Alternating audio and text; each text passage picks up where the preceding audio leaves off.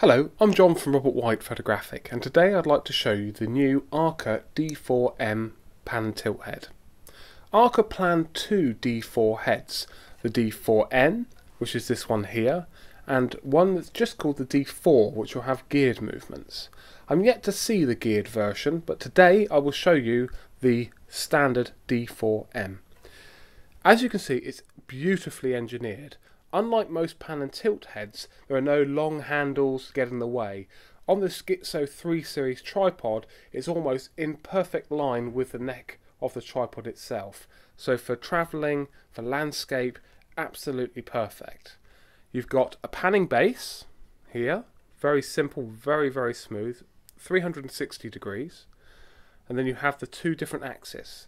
This simple lock, very easy to control, will give you the movement here and I will turn this round so the camera will see. And you have a gradient scale in there as well. But with a simple turn it is absolutely rock solid. And you also have a movement here which will give you that axis. You can see that there is also a scale marked here as there is on the other movement there. And I'll level it up because I have lovely spirit levels. If I pan it around, you can see that they're there to help you, guide you with getting the thing level. It's also got, as with some of the Z1 heads, a double pan facility. Now the reason for this is that if you've got your tripod on uneven ground, you can use the panning, uh, sorry, the tilts to level up the head perfectly. Once you've got that level, because you've got a spirit level not only on here, but on the head itself, which I can show you, then you are assured that that's in an absolutely level plane.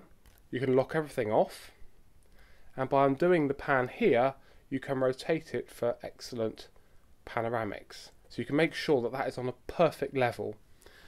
The chuck on here, this is the flip lock, quick set flip lock, and as with all modern heads, it's got the double chuck. So the outer marking here will take the standard system plates as we've all been used to for years.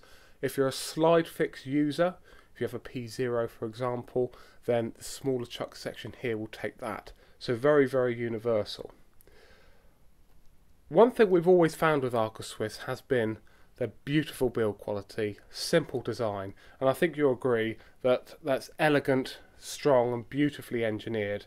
Um, we're looking forward to seeing many, many more of these. They're going to be a fantastic system for us hold a good amount of equipment, big heavy stuff, everything from the large formats down to your big tele lenses on your Nikon and Canon. As soon as we get the D4, the geared version, we'll do another video so you can have a look at it. But for any questions on the system, you can email us at sales at robertwhite.co.uk or drop us a phone call. Thank you ever so much. Goodbye.